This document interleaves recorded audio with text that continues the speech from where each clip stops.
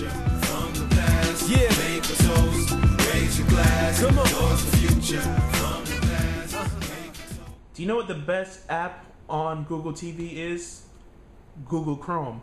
Because it's a browser, it's not exactly as what you'll find on your computer, but it does access a lot of the things you will find on your laptop or desktop.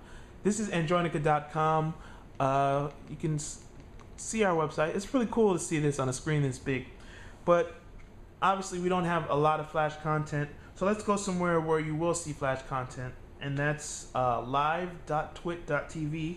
If you're a fan of the Twit network, you can now watch it on your television because there's Flash built into this Chrome and into Google TV. It is Android based after all.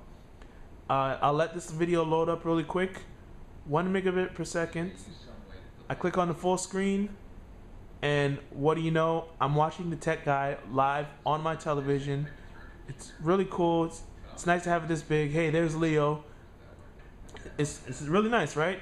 Now I know, yeah, Hulu's blocked, NBC's blocked. There's a lot of websites that are actively blocking their content, and that kind of sucks. But there's a lot of great places that you can still go. Uh, we did the the breakdown of Vimeo.com. Uh, you probably saw that already. Uh, I can if I go to Vimeo couch mode, the website is optimized, and Google has wisely created a section of the Google TV called Spotlight. These show you a list of websites that have already optimized their television, I mean their websites to work on your television. So I can go to Vevo and I can see some music videos. I can go to YouTube Lean Back and just browse YouTube all day if I wanted to.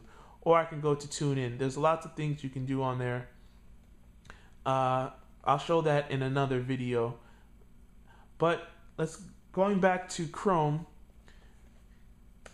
There's lots of stuff you can do here. You can go to any website that you want directly within here.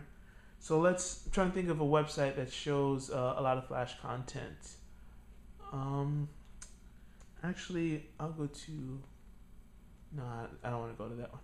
Actually, you know what? This reminds me of something. Someone asked me on here, how does Google TV perform with, how should I say, adult websites? And the answer is very simple. If it uses Flash, those adult websites will work. Now, you probably don't want those things coming up in your history. So if that's the case, you're going to press the menu button, and what do you know? Incognito tab. G. Hmm. Perverts. Uh, you can also check your tab history here. You can close tab, and when you go to more, you can find stuff on a page or mess around with your settings. Another thing you can do, you can bookmark pages. So let's say, all right, I don't want to bookmark this particular page, but I want to go to vimeo.com slash couch mode, which is their website that is optimized for Google TV. And once I get there, I'm going to press the record button and it's going to give me some options. I can share it with friends or I can add to web add the web page to my bookmarks. All right? Or I can put it in queue, which is to line up some other videos to display. This is really long, so I'll put Vimeo couch. And I save, and now I've got a new bookmark. When I press the home button, and then I go to bookmarks.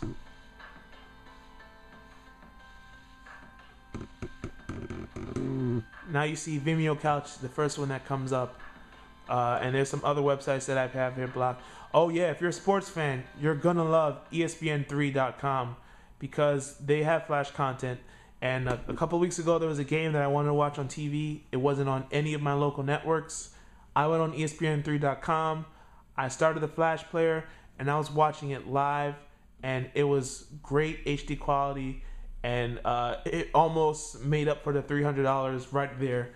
It's pretty interesting. So if you go to a lot of Flash websites and you've always said, "Oh man, I wish I could watch this on my TV," Google Chrome in your Google TV is going to make that possible. There's more stuff that you can discover along the way. I'll leave that to you. I'll just let you know that this is not going to be your primary browser because scrolling can take a while. Text on certain websites don't doesn't look very well. But if you're going to consume media and consume video in particular, this is going to be a great thing to have.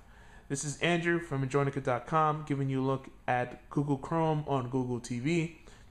Be sure to check out our other videos on Google TV and go to Androinica.com for all of your Android needs. Come